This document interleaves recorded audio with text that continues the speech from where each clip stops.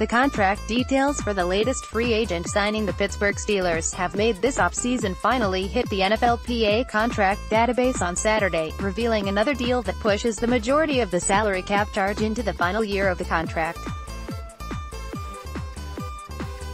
Steelers salary cap expert Ian Whetstone was the first with figures once again, reporting base salaries for linebacker Mark Barron of $1 million in 2019 and $4.5 million in 2020, as well as a signing bonus worth $5.75 million and a roster bonus worth $750,000 next year.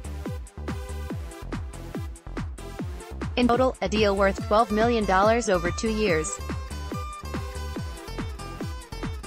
Barron also has a $4.5 million base salary next year and, if how they've structured other recent two-year contracts is any indication, likely a $750,000 roster bonus due early in the 2020 league year. Ian Whetstone, at Ian Whetstone, March 23, 2019 In terms of cash flow, Barron will receive $6.75 million this year and $5.25 million in his final year under contract, but will have salary cap hits of $3.875 million and $8.125 million in their respective seasons.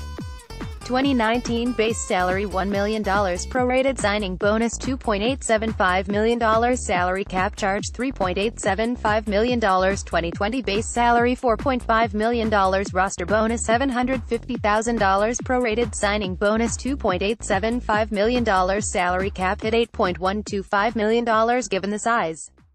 of his cap charge in 2020, and the potential savings of $5.25 million associated with his release, Barron has few guarantees he will see the second year of this deal if the Steelers are not happy with his production in 2019. Pittsburgh would also incur $2.875 million in dead money charges if he was let go next year.